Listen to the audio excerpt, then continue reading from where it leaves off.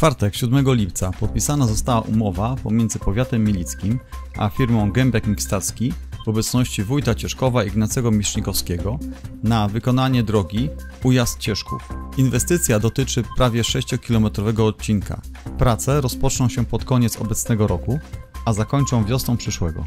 Podpisaliśmy umowę z wykonawcą Gębiak Stacki przy obecności też pana wójta Cieszkowa, droga ujazd Cieszków, przez cały ujazd ponad 4,5 km i brakująca część drogi ponad 1100 metrów.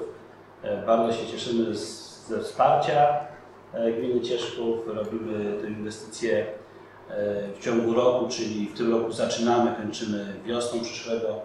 Na pewno mieszkańcy nie tylko gminy Cieszków będą chwalić sobie, bo ta część, którą też firma pana Wiesława wykonała, jest świetnie wykonana. Rowerzystów tam w czasie w sezonie letnim obserwować bardzo wielu i cieszę się, że ta część aż do właściwie gminy Milicz Cieszkowa będzie już połączona nową drogą.